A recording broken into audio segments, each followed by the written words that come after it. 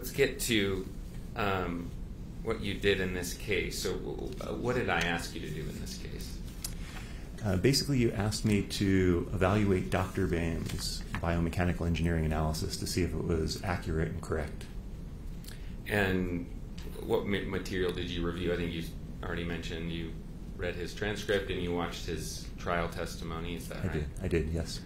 And maybe for the jury, in case they need a reminder, he- had that green screen in the back of him. Right. Just the talking head. He's Exactly. speaking from Florida, I think. That's right. Right. And so let's uh, just start with his analysis. Do you agree with it? I do not. I do Okay. not agree with his analysis. And maybe uh, before we explain why, just give us a sense of what you what you understand his method and analysis to be. Sure. Um, as I've gone through what he testified to in his deposition and the trial, looking at his calculations and what he's done, to me, there's two parts to his analysis. The first is calculations to show that Miss Paltrow had to land on Mr. Sanderson in order to get the rib fractures that he got.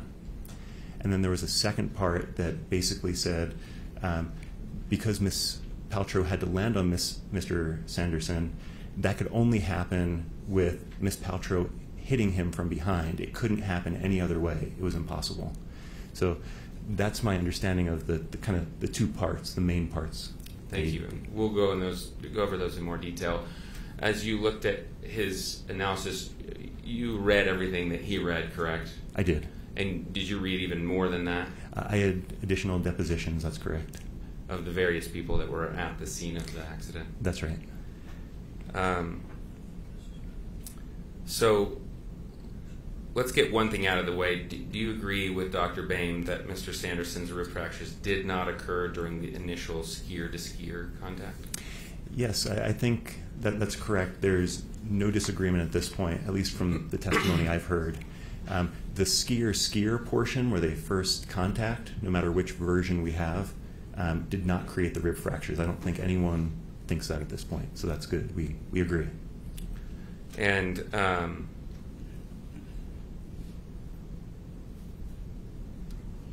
in terms of uh, just a, a quick overview before we go into uh, his calculations, which you can explain to the jury, do you believe that uh, Miss Paltrow's account, and, and I should say, are you familiar with her account? I am. And you heard her trial testimony I did. and read her deposition.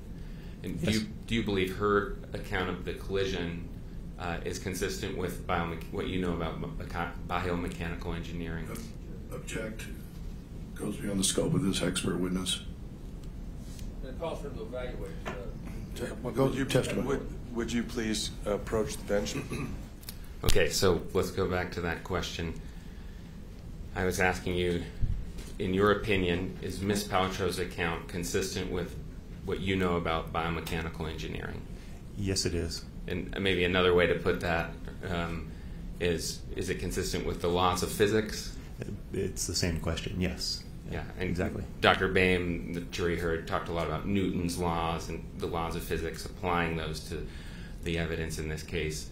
And again, in your analysis, as you apply them, Ms. Paltrow's um, uh, account is consistent with those. Objection lacks foundation. Overruled? That's correct. Her Miss Paltrow's version, her her scenario is consistent with the laws of physics and what we know about biomechanics. And then the account that Dr. Boehm gave, and that is uh, based on Mr. Ramon's account, um, is that consistent with the laws of physics? I do not believe it is, and I can explain as we get into it. Yes. Okay. Great. We'll we'll explain that. Let's let's um,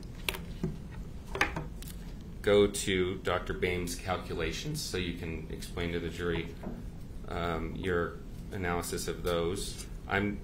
We can. Ha- we have an easel, and as I understand it, you you would like to kind of draw so that you can show them what the equations mean. Is that correct? That's exactly right. Okay. So I'll grab the easel, and then If you do the calculations with the correct equations and only his mass, you get over 4,000 newtons when he lands. Actually, you get 11,056 newtons. So if he were to fall to the snow, using Dr. Boehm's calculation method the correct way, then just Mr. Sanderson falling, not Miss Paltrow involved at all, he could get rib fractures.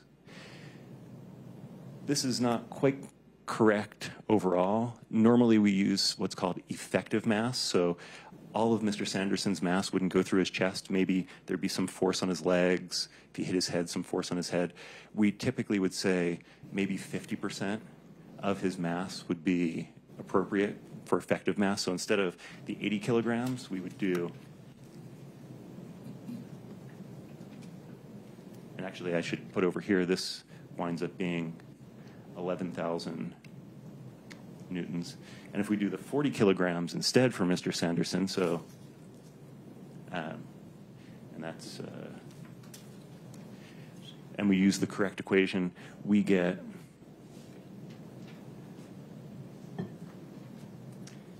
sorry, I don't do the math in my head. Um, 5,000 500 newtons, uh, approximately.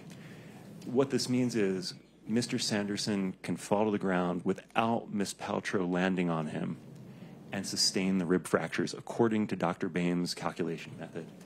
So, if done correctly, he cannot say his opinion that Miss Paltrow had to land on Mr. Sanderson to get the rib fractures, which means that this goes through the rest of his analysis. So, the rest of his analysis is wrong.